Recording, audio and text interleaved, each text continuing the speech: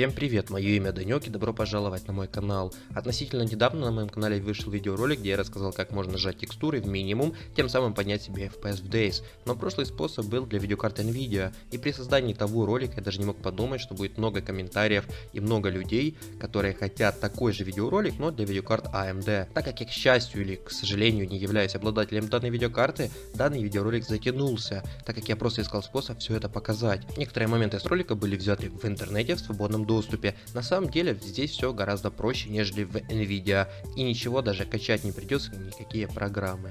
С вас огромная просьба поставить лайк, так как делать был такой ролик немножечко затратно по времени, но ваши просьбы были услышаны и реализованы. Сегодня я покажу вам на примере CSGO, но данный способ работает во всех играх. Друзья, скажу еще то, что данный способ проверить до конца я не смог, а лишь нашел в интернете информацию, которой с вами и делюсь. Знаю точно одно, ваш ПК не будет взорван и в принципе ничего не должно слететь, но если у вас не получится, пишите в комментарии или же мне в Discord, и мы будем решать вашу проблему в индивидуальном порядке. Давайте приступим. Для начала жмем сочетание клавиш Win плюс R и туда вписываем Rec Edit. Заходим в редактор реестра и после чего выбираем путь, как показано на экране.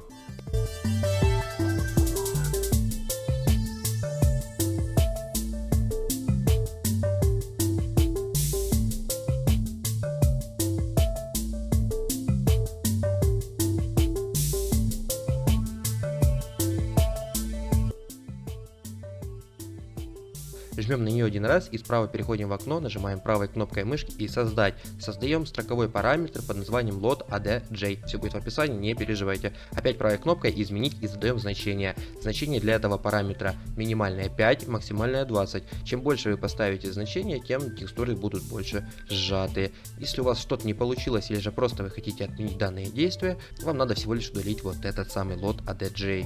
Большая просьба отписать, получилось ли у вас и насколько ваш FPS вырос. Повторюсь и скажу еще, что данной видеокарты у меня нету и во всей красе я показать результат не могу. И напоминаю, друзья, лучшая благодарность для меня это лайк под видео. В принципе, ребят, ничего сложного, давайте переместимся в CSGO и увидим результат, который у нас получился вот от таких, как говорится, несложных махинаций.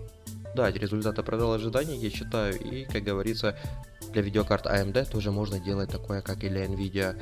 Пользуйтесь. Всем спасибо за внимание и новые ролики про поднятие FPS уже скоро будут на канале. Всем удачи и всем пока.